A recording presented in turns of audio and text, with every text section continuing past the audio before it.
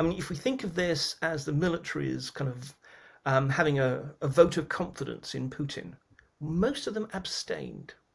And that must absolutely be alarming to him because we, like him, I think had assumed that the final backstop of his rule was that he had the security forces on his side.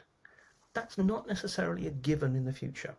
So, I mean, I think it is clear that, that this war is having an impact on Putin's political position, his certainly his standing within the elite as well as within the masses, and the war is affecting the political scene, but the political scene is also absolutely constraining the military effort.